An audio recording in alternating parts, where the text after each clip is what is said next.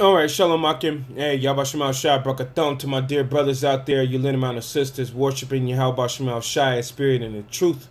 All praises to Yahweh Hashem Yahweh Shai, bunch of the apostles over there, great millstone and peace and mercy uh, to the elect.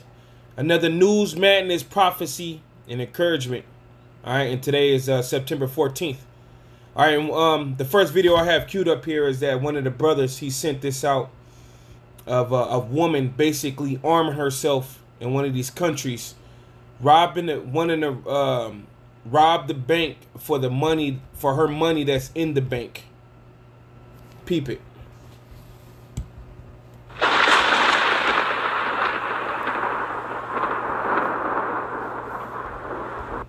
Um, this is actually put up by a channel called Hebrew Israelite Yahweh, and uh, the the editor put uh, Isaiah 10 and 1. Warn to them that decree unrighteous decrees and that right grievousness which they have prescribed.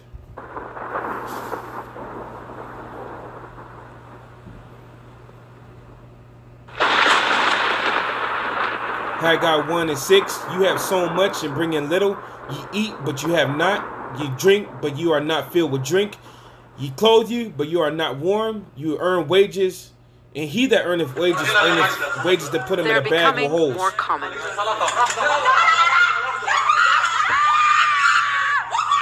In two separate incidents, hours apart, armed people enter banks demanding their own money. Lebanon is in crisis. For three years, people haven't been able to access their savings because of informal capital controls. Sally Hafiz is among them. Armed with a handgun, she was accompanied by activists who threatened bank employees before she was given $13,000 from her account. In this country, this is the only way to get our money back. We didn't steal this money. We worked hard to earn it. Sally says she needs the money to pay for her sister's cancer treatment. In a similar incident last month, an armed man named Bassam al Sheikh Hussein held hostages at a bank for nearly 10 hours before receiving part of his trapped savings. He too said he needed money to pay for his father's hospital bill. Many others, like Sally and Bassam, who are facing strict limits on withdrawals of foreign currency, gathered outside the bank after the incident. So you brothers and you sisters see it. You see it, man. You can continue watching the video. It's called Economic Crisis Armed Woman and Activists Hold Up a Bank.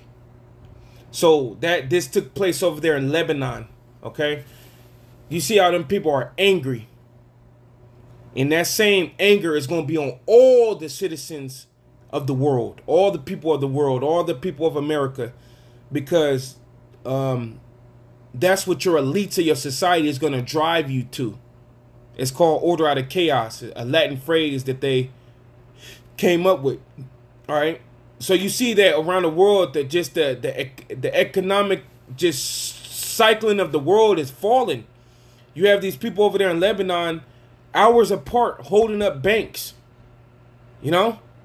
Holding up banks different periods of time. There is activists with them and getting their money and they and, it's, and they're saying because they need to handle their business as far as sick family members you know helping out their themselves.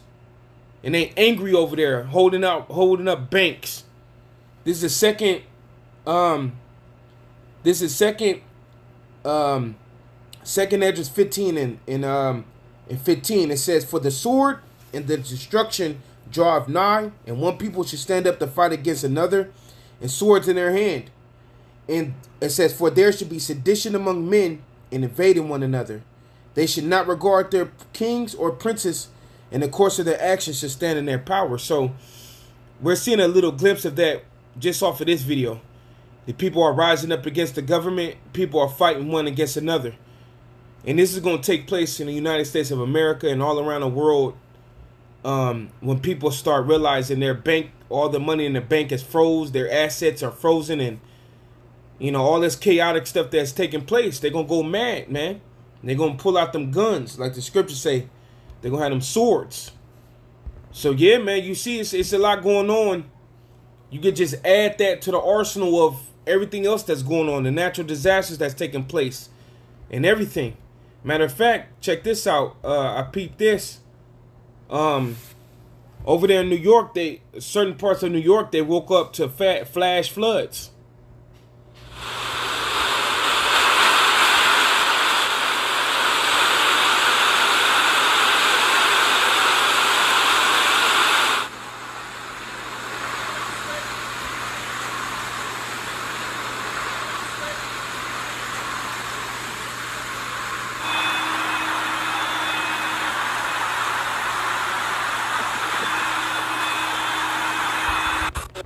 Only through part of the city. A flash flood warning was in place for parts of Brooklyn, Queens, and Staten Island until 7:30 a.m. Oh my gosh. Authorities have warned people not to drive on flooded roads and to climb higher ground if necessary. An overnight storm led to the suspension of subway traffic in Brooklyn. The flood also closed several boulevards in Brooklyn and Queens. The Long Island Expressway was also affected, where water lifted manhole covers and flooded the road. The highway was also flooded near Maurice Avenue, Grand Central Parkway, and the Van Wyck Expressway. Firefighters made several rescues and were able to push most of the vehicles. you know, you brothers see it. You know, just flash floods are taking place all over um just United States period. You know, not just New York, but over here in California and different other states and all around the world, Pakistan, France. You know, just flash floods. And that this is second Esdras nine and two. We always go here. It says, Then shalt thou understand that this is the very same time wherein the highest will begin to visit the world which he made. Therefore, when there are seen earthquakes and uproars of the people in the world, then shalt thou understand that the Most High spoke of those things from the from the days that were before the even from the beginning. So you know, it just happening back to back. Things are taking place back to back. The Heavenly Father is showing that He's uh He's making it happen for us, man. You know, this kingdom is being destroyed naturally by natural disasters. People are getting pushed on the edge, and it's just gonna continue to increase, man. It's gonna continue to increase. Now, Pete, this I have found this. Um, this is a testimony about, I guess, a guy. He may have been an ex-pastor. You know, I just had seen it and I thought it was good to to report on it. But he basically explained, um, you know, how the the Christian church is dealing with that witchcraft. All right. And know whether he's if this guy is lying about his story or testimony or not, it really doesn't matter because there that really take this is what he's finna explain. It really goes on in the church amongst to become a pastor, you gotta be a mason. You gotta worship Satan. Now peep this.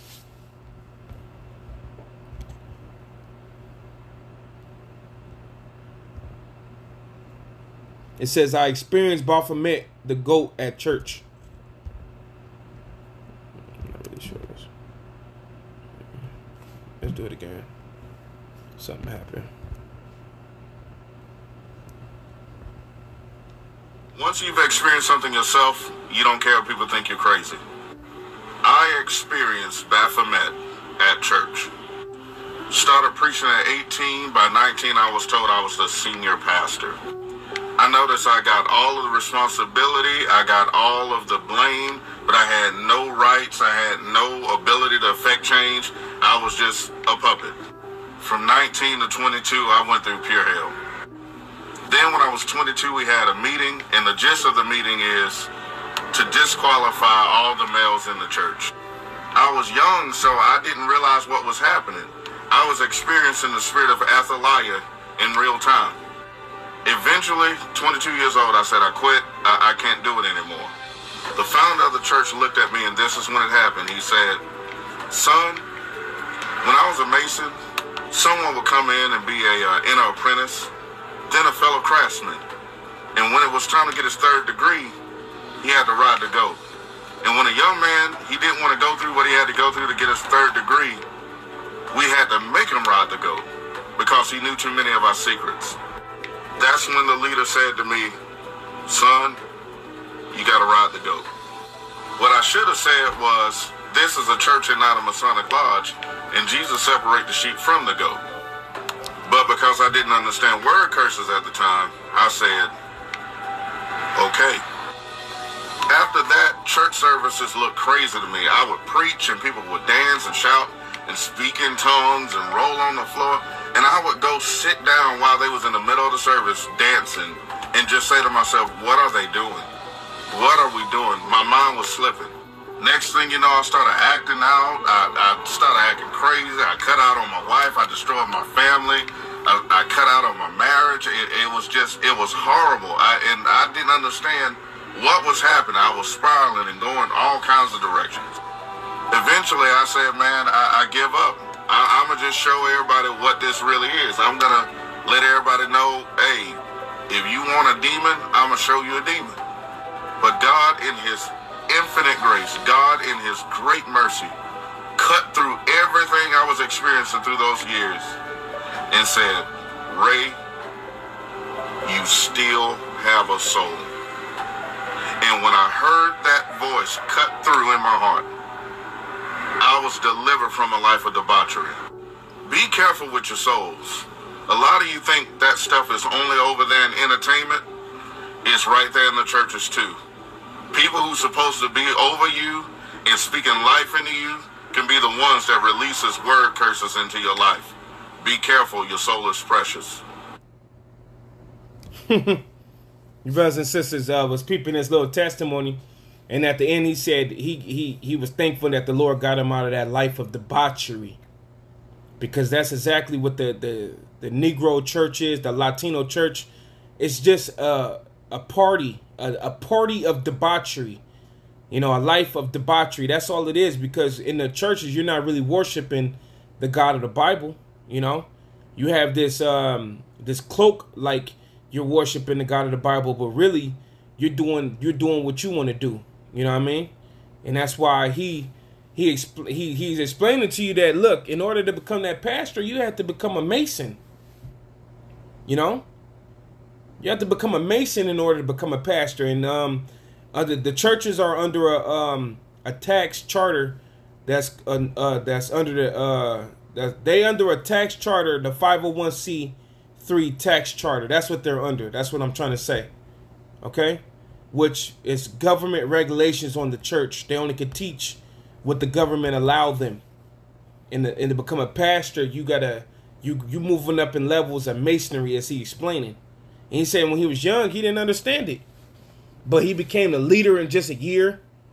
He became a, the head the head pastor in a year. You know, he said he it led him it led him to mess his whole little um the the marriage he had up with his woman, and I'm pretty sure why. Is because he was dealing with other other chicks. He was dealing with all the chicks in the in the um in the in the church. You know, getting money, living it up, debauchery. He was living debauchery. And that's what we try to explain to you jakes out there. Look, that church is no good, man. It's no good from the pastor to the to the to the fine woman walking around. It's all about debauchery. It's all about self-worship, and it's all governed under the uh the Edomite rulership government. All right, the United States government. This is Isaiah 9 and 16. It says, For the leaders of this people cause them to err, and they that are led of them are destroyed. You see? All right, and those churches, those leaders in your churches, they're going to lead you to death. They're going to lead you to death. You know? They're going to lead you right to death. Listen to what this dude. And said, Ray, you still have a soul. And when I heard that voice cut through in my heart, I was delivered from a life of debauchery. Be careful with your souls. A lot of you think that stuff is only over there in entertainment. It's right there in the churches too. You heard what he said. A lot of y'all think it's just an entertainment. Uh, that that that debaucherous life of people worshiping Satan and getting money and all that. Nah, man, your your church pastors is doing the same thing, just like he explaining. And if he really did, if the hey, he he ain't in the truth, but the Most High does have mercy on certain people to you know they say for instance they get stuck on drugs. The Heavenly Father may have enough mercy. He doesn't show them the truth, but he'll take the demon off them and they get off drugs. or even in this guy, this guy's case, he uh, the Lord probably really did take him out of, um, you know, being that de- that debaucherous man in in in uh, robbing the church the way he was. He probably really got the demon off him. You know what I mean? But he still ain't in the truth though. You know what I'm saying? We even have an example of that with Legion. The Lord cast all the demons out of Legion, but he told Legion that he couldn't follow him. You know? But this is Matthew 15 and 4, 14. It says, Let them alone.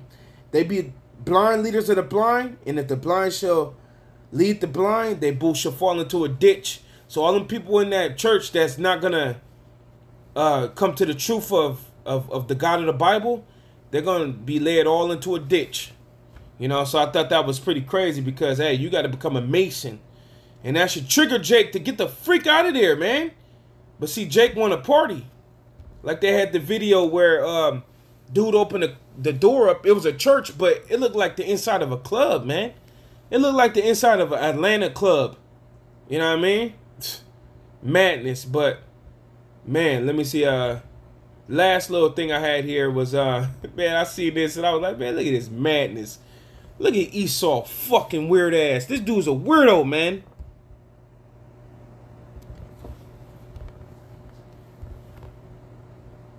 Look at this dude. Dude eating the mud off of the shoe, man. Wow. You know? Wow. I got two scriptures. Scriptures. Let's go to Habakkuk real quick. Let me see. Uh, Habakkuk chapter two. Habakkuk chapter two, verse four. It says, "Behold, his soul which is lifted up is not upright in him, but the just shall live by faith." You know, and that shows you that. And that's talking about Esau, Edom, the claim white man. His soul ain't right. Look at this dude. You know, and these are the ones. These are the guys who who um they rule over us, or, they rule over us. And what he's doing right here is nothing compared to what the elites of the society is really doing. The way they uh, drink human uh, blood and all this extra, uh, you know, hydro- hydrenochrome. I, I, I forget what it's called, but you know what I mean. They do far worse things. But this is the this is the Edomites. This is the one that rule over us, and this is what we have to deal with, man. This is Isaiah chapter three. Um, verse 12, it says, As for my people, children are their oppressors. This is a child ruling over us. This Edomite is a child, a big, bad, evil child, man. You know? Like that one song, It's my party, I could cry if I want to, cry if I want to. That from the uh, the movie The Problem Child, man. It's just an evil Edom, just a little evil Edomite, man. And he's the one that's ruling us, and that's why the world is just in a terrible state it is, and us Israelites, we're just oppressed. Because children are oppressors, it says, and women rule over them. O my people, they which lead thee cause thee to err and destroy the way of thy paths. And this guy is a part of, he's the main dude destroying our paths. And I don't, I don't understand it, man. God damn. you know, but yeah, hey, brothers, hey. Y'all been trying showing about Kadam. That's all I have for today. You brother and you sisters out there, stay strong. Um, to the next time, Shalom, Makim Step. Watch and pray. Shalom.